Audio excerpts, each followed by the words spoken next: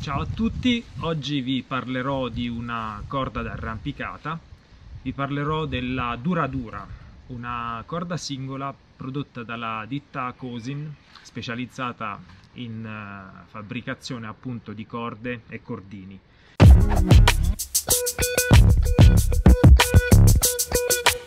Nome quindi impegnativo, vediamo se il nome rispetterà eh, le caratteristiche di questa corda e eh, le impressioni che mi ha trasmesso.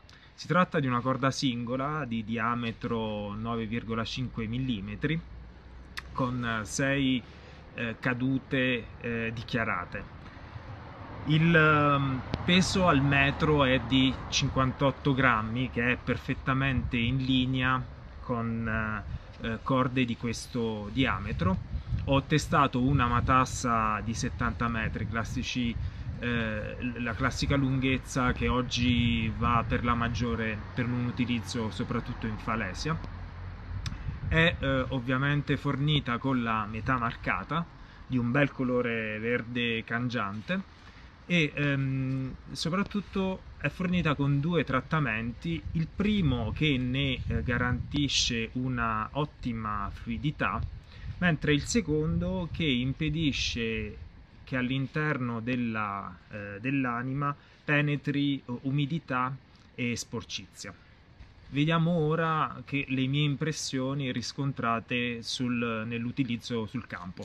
La prima cosa che colpisce prendendo in mano questa corda è la fluidità. Davvero una sensazione mai provata prima eh, maneggiando altre corde è, è morbidissima, scorre benissimo sia nelle mani che nei freni e sembra quasi che si stia gestendo una mezza corda, nonostante poi il diametro, come ho detto, sia di 9 mm e mezzo. Eh, ha una ottima eh, morbidezza e annodabilità anche.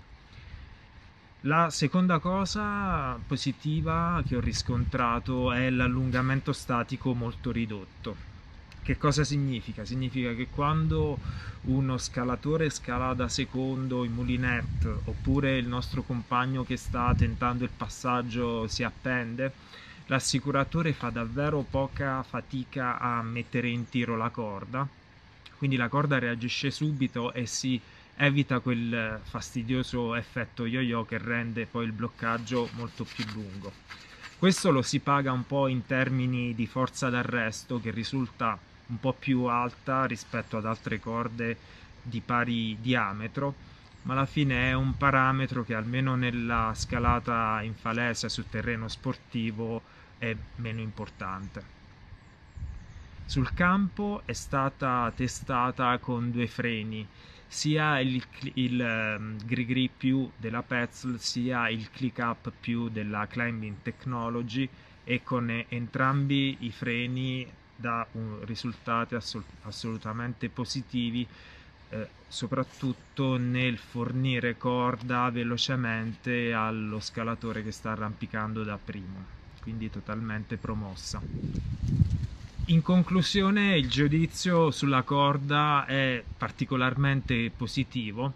Si fa apprezzare soprattutto per la fluidità per la maneggevolezza e per il ridotto allungamento quindi la consiglio su terreno sportivo sia di falesia che su via più tiri sportive e ad un pubblico a scalatori di medio alto livello abbastanza esperti.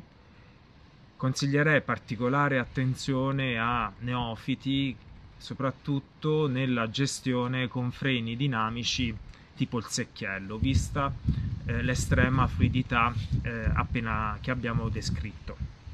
Grazie a tutti e al prossimo video.